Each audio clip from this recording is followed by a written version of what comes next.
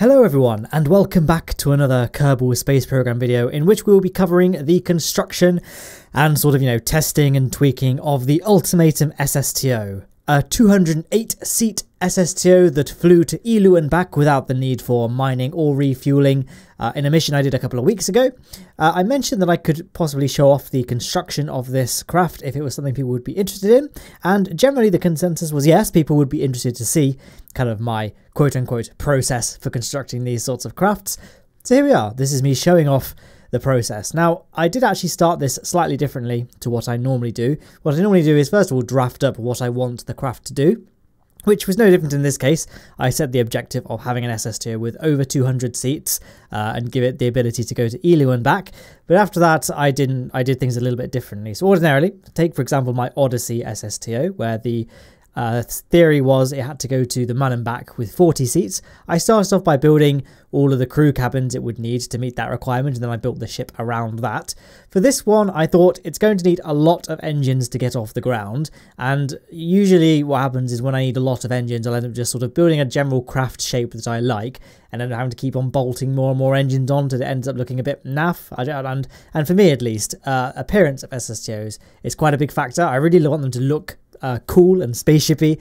So I thought let's start with the engines, just because we're going to be needing basically just nuclear engines and rapiers to power this thing. And nuclear engines and rapiers are like quite small in diameter uh, relative to the rest of the craft. There's no like big size rapiers or big size nuclear engines, at least in stock KSP. So it's going to be the hardest thing to get it looking good. Like that's going to be the hardest part of the ship to design with aesthetics in mind. So that's why I kind of started off with the engines and then worked my way forwards. Uh, let's just start with, I kind of came up with this basic shape idea. I thought, let's just have like essentially the entire wing structure or the back of the wing structure be engines. And then we could just, you know, add or remove um, tanks and fuel, um, tanks and engines, sorry, as and when was necessary. So this is a little bit different in that I started off with the engines and then built my way forward. So I got my calculator out, made sure I had enough uh, crew cabins.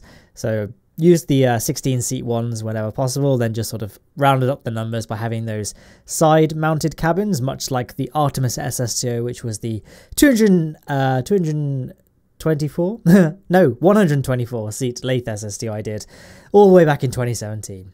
So yeah, um, the reason I'm kind of doing this video, I did mention that uh, people did want to see it, but also I've never really talked too much about the time lapses themselves. I did make a video, granted, a couple of weeks ago of me building a spaceship, a spaceship, a space station in time lapse. I guess that's kind of a spaceship, space spaceship, isn't it?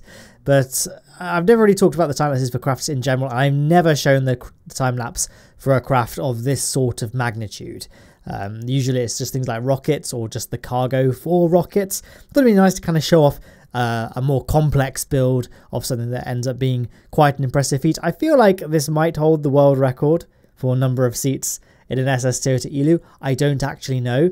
The one of the big inspirations was because um, well, my current understanding of the Eeloo SSTO uh, landscape was that uh, I made my uh, Archangel Mark II back in the day, uh, which was 60 seats to Eeloo and back, which uh, at the time was the most seats I'd ever seen in a single stage to Eeloo and back that didn't require mining. And then Mcbalsam ended up making a 136 seat SSTO to Eeloo, so really showed me up there. And then more recently than that, although they were both released at similar sorts of times, Nessus made one that was 192 Kerbals to Eeloo. So both of these videos are great, by the way. I'm going to put links to both of them in the description. I highly re recommend you checking them out because they are they were good videos. But we are coming towards the end of the Ultimatum uh, Alpha Mark 1 test ship. You may notice some subtle differences between this and the final product, namely the fact it is far more stumpy, it doesn't have as much fuel, so as a consequence of that it doesn't didn't end up with as much delta V as we needed from low Kerbin orbit. We can just first of all make sure it gets off the runway and into the air, which we're about to find out. Blazing success, loads of room, lots and lots of power. As you can see, the thrust weight ratio is very, very good. Certainly a lot better than the product we ended up with, and that's because we just have a much, much lower mass right now. We have a far less fuel, not enough fuel to get us going, but I didn't really bother calculating anything, which was another point I wanted to get across in this video, really. A lot of the questions I get asked on my Discord server, link to which uh, is in the description, is, uh, you know, how do I calculate the payload mass to Rapier engines and all that? And yes, whilst it probably is advisable, that's the best way of calculating how many engines you need and all that, you know, calculate mass to rapier ratios and things. I tend to just slap boosters on, see what works, and if it doesn't work, go back to the drawing board by either adding more boosters, less boosters, more fuel, usually a combination of all of the above. so this is like the first initial flight. I'm going to show like the flight in its entirety, granted played at much, much faster than real-time speed. Subsequent flight tests after this though, I'm just going to kind of show the beginnings and endings of the flight and any interesting things that happened uh, in the middle. But for the most part, this will be the only flight you actually see in full. Just to kind of give you an idea of like my basic ascent profile when testing this thing flying relatively with a relatively low angle of attack early on to get the rapiers up to about 400 meters per second in speed. Once they're going that fast, uh, lots and lots of air is getting to the rapiers very, very quickly. So their thrust is at kind of uh, they, they, they have they provide greater thrust basically. And when you get to that sort of speed then you can start pitching up to the upper atmosphere. So we're going to keep an eye on that delta v readout in the top right hand corner of the screen. To get to Eeloo we need I was trying to aim for about 4500 meters per second as my goal.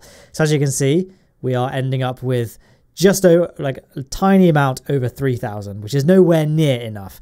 I drained the, the uh, surplus oxidizer we had left using hyperedit just to see if that would give us a little bit of extra delta v but it was a completely insignificant number. So back to the drawing board here.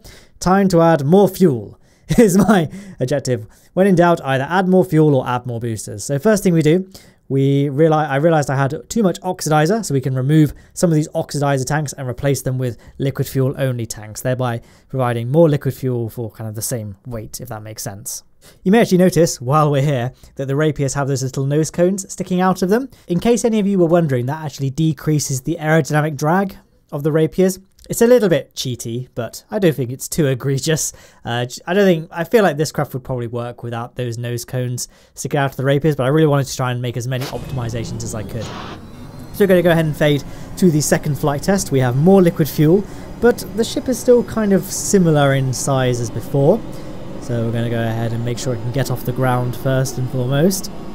This is the big moment. So no, not quite as much clearance this time because we are carrying a bit more weight.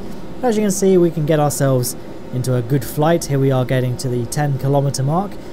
Trying to, I usually try and aim for about 1600, 1500, 1600 meters per second of speed before we initiate the rocket phase of the Rapier engines, which is currently occurring just because this is the most inefficient part of the entire flight. Uh, so we want to try and spend as little time as possible burning in closed cycle mode. I always wanted to make sure we had a little bit of oxidizer left over just to help us with our Eeloo landing. So there we are. Before it fades away, we ended up with 3,800 meters per second of delta V just there, which is better, but we weren't fully circularized there. We still had a long way to go, so we really didn't have enough fuel still. So then we came back to let's try and shed some weight. So let's see if we can ditch some engines, try and get our you know weight saved a little bit. This would obviously result in a lower thrust to the craft, so I was really hoping that we would still have enough thrust to get off the end of the runway. Here we can see the, uh, the landing gear sliding us about a bit, but in general we did okay. Kicked ourselves off the ground and off we go into space. And there we are, just past the 4,000 meters per second mark, so already massively under budget. Our apoapsis is not even above the Kármán line just yet. We've run out of oxidizer. We don't have enough thrust to weight ratio in the nuclear engine to circularize or indeed raise our, raise our apoapsis to a satisfactory height in time. This version of the craft was not going to be good, enough either. So we reverted, went back to the drawing board, decided to make some more changes. So the next thing I did, added more fuel, more boosters, more fuel, more boosters, more fuel. That's the mantra for this craft's construction. So let's uh, you know try and cut down a bit more weight. We can move more, some more engines, uh, but add more fuel. So now we have an even greater mass and even less thrust.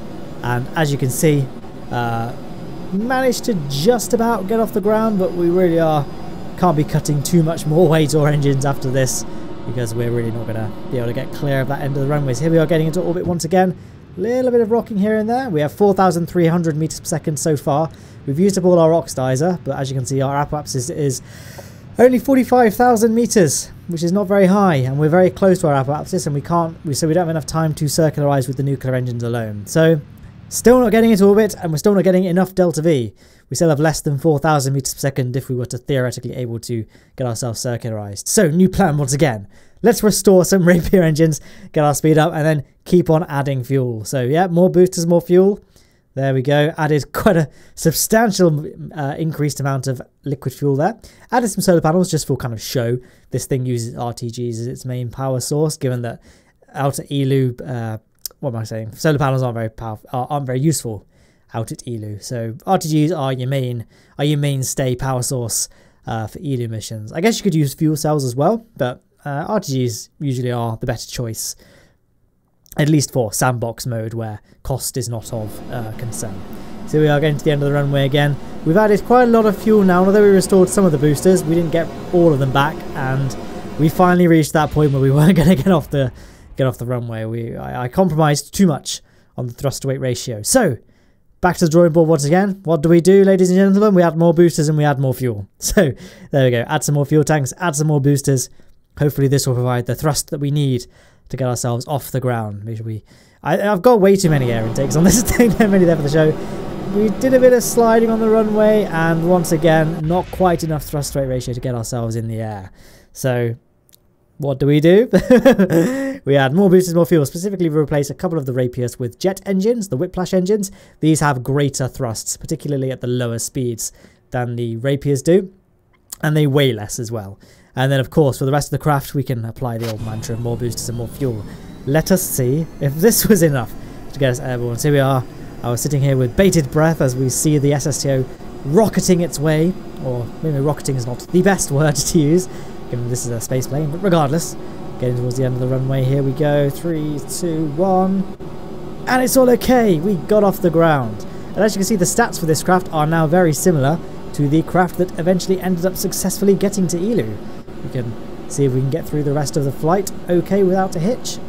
So we are coming to our rapid acceleration phase. As we get to 10 kilometers up, we really start flattening out, trying to get as much speed as we possibly can out of the air breathing and, you know, most efficient stage of the uh, jet engines and rapiers. Now we can skip ahead to the closed cycle ascent and then finally to the last bit of the ascent using just the nuclear engines.